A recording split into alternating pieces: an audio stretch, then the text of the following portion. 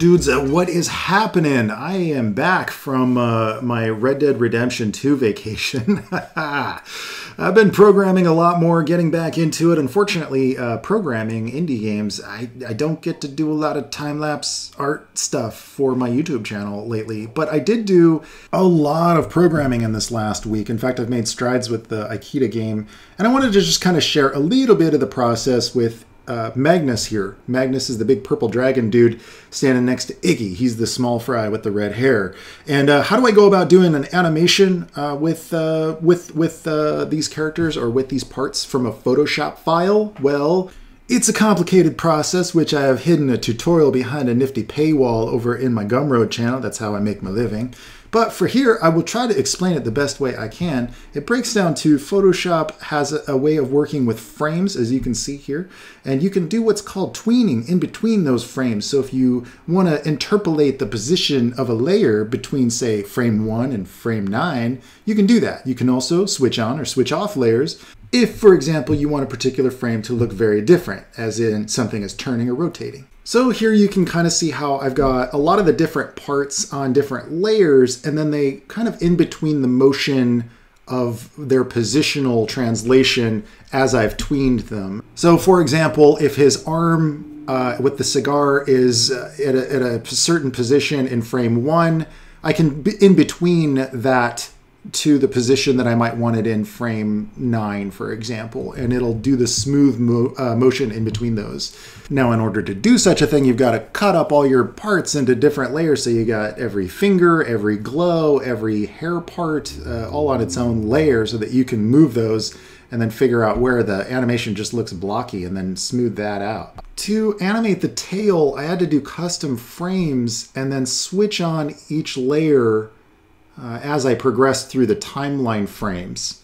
So what I was doing is using the uh, filter liquify tool to create a little bit of motion in between each frame. And then when you repeat them or when you run them in the cycle, they kind of get this implication of a smooth motion. And since we're this whole thing ends up being kind of a low uh, pixel resolution anyway, it, it, doesn't turn out too shabby. It's not a high level of polished animation though. This ain't like some Studio Ghibli stuff going on. Once I've got all the basic big movements in place, I turn to the details. And I found it's easier to just focus on one part at a time. So in this case, I just keep playing back that tail and figuring out, ah, is that too much of a jump between this frame or the next frame? And then if it's too much of a jump, I create another alternate frame in between that just has little slight movement in between those two so it doesn't look as jumpy. A little tip for you guys, if you're doing your own little idle animations in Photoshop like this, if you want something to feel a little bit heavier, delay its upward motion by about one to two frames. So for instance, his head starts moving up one frame before the rest of his hair starts to move up. And uh, that creates a little bit of like a bob, and you'll see it uh, in the buckles as well by the time we get to the end of the animation. Since it's going to be low resolution pixel art, I think he's only going to be about 110 pixels tall.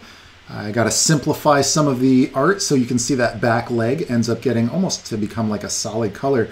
Here you can see it at the actual resolution. It looks weird when you zoom in on it like that. Uh, and it would look so much sexier if it was all high res, but man, that's a lot of work and it would be, I'd have to be a lot of different animation. I'd have to hire a whole animation studio to animate this thing uh, if I did it in high resolution. I just can't swing that, man. I'm already thousands of dollars in debt, taking out a second mortgage on my home. I sold my Cintiq, sold the clothes off my back to make an indie game. Oh my God. But dudes, in all seriousness, um, this game means a lot to me. Uh, ever since I was a little kid, all I ever really, really wanted to do was make video games. And now I can make indie games, and I really want you guys to be a part of this. Uh, the little prototype demo that I made for Ikeda, the Scrap Hunter EP, went over really well. Great response, great feedback from everybody who uh, picked it up. And of course, you know, it supplements my income and keeps me afloat to be able to do this sort of a thing. Uh, the more people can pick it up. So, dudes, uh, please share it around and let people know I'm still adding cool new features like flying the javelin and maybe even freaking robots, man. You can pilot mechs in this game, blow up stuff. It's so cool. Anyway, dudes, uh, of course, I can't wait to see you in the next video. I will catch you all mañana bon. And ciao, baby. Oh, yeah. That's not too bad.